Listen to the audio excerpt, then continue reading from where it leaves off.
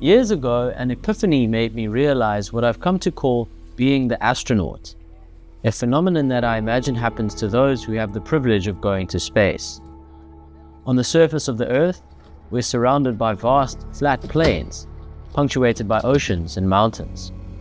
We can't see very far in any direction, usually less than 5 kilometers, and the tendency, through no fault of our own, is to become absorbed in our own little worlds.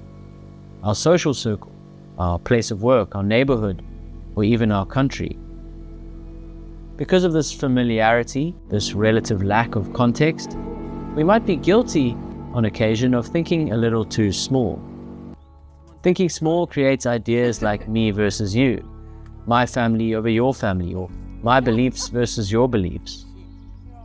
We can expand our context, but it will not come and find us.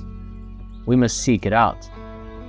The internet can help with context, but we tend to settle into little local communities called echo chambers, interacting mostly with those sharing the same views as us. Books, movies, and interaction with the enlightened are great ways of becoming more enlightened ourselves, and they're cheap.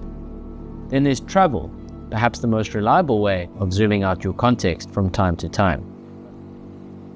I called it being the Astronauts to try and capture what it must feel like to look back on the Earth for the first time. Most astronauts don't exceed the 400 or so kilometers of the International Space Station. Even from that low altitude, the Earth's horizon looms a massive 2,300 kilometers in all directions.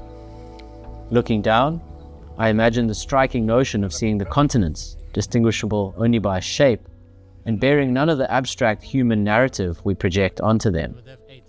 No borders, no politics, no notion of mine or yours, just a big piece of rock that we all share. And then there's the view reserved for the 30 or so Apollo astronauts who've been far enough, where the whole Earth becomes a small portion of what you can see, what Carl Sagan called the pale blue dot. The Earth is a very small stage in a vast cosmic arena, he said, and on it is everyone you love, everyone you know, everyone you ever heard of, every human being who ever was.